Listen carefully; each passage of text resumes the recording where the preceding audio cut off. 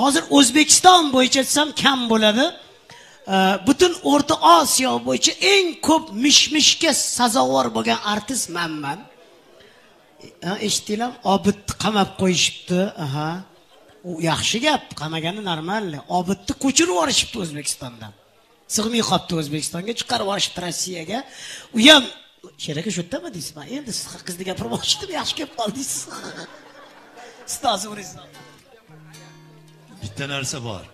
Man ilgari ham aytganman.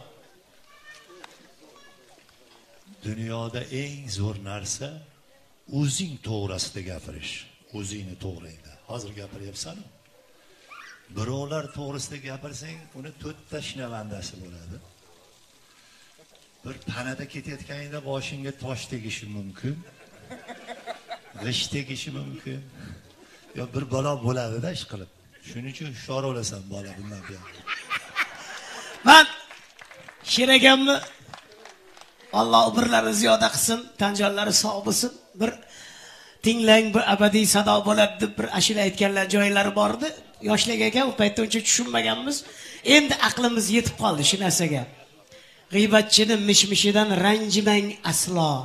Nima bo'lsa asli naslida bo'lgan onasini qornida o'zi ham hatto turli mish mish bilan dunyoga kelgan degan bir ashula aytardilar bir paytlar. Shu ashulani mazmunini ma'nosini endi chaqyapmiz.